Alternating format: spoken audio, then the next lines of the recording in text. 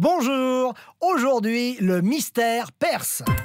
Le bureau des vérificateurs d'infos. De qui? De Pierre-Yves Noël. Merci.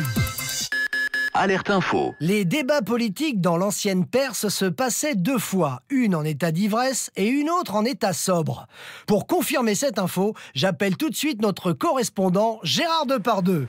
Bonjour Gérard, où êtes-vous? Non, salut ma poule. Oh, je suis à, je me taperais bien un goulash chiti. Alors oui, cette info est exacte, mais ça se passe aussi dans notre Parlement français, ce système. Quand j'écoute Jean-Marc Ayrault, j'ai l'impression d'entendre mon Jeannot Carmet dans la soupe aux choux. Et quand j'écoute Cazeneuve, on voit bien qu'il est sponsorisé par Vital et Volvic. Non, mais moi, moi aussi, je fais comme les Perses. Je roule bourré sur mon scooter et j'explique à Jean, en garde à vue au commissariat, que je n'ai pas bu avant. Ils me connaissent tellement bien la maison Poulaga que dès que j'arrive, ils font un copier-coller de mon dossier sur l'ordinateur. Ça nous laisse le temps de prendre un apéro. Tiens, d'ailleurs, leur devise, quand ils me voient, c'est je vais m'occuper de votre cas. Je vais m'occuper de votre cas. Oh, oh, elle est bonne, non? Eh bien merci Gérard Depardieu d'avoir validé cette info pour le BVI. Dis-moi, ma poule, ton truc à la radio, hein, c'est parler bourré ou c'est parler sobre Ah, sobre Gérard, sobre. J'ai une déontologie, euh, j'ai une éthique. Ben moi, c'est bien alcoolisé.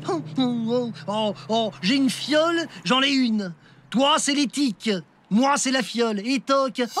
Le BVI, ils ne prendront jamais aucun risque. Sauf celui de vous faire rire.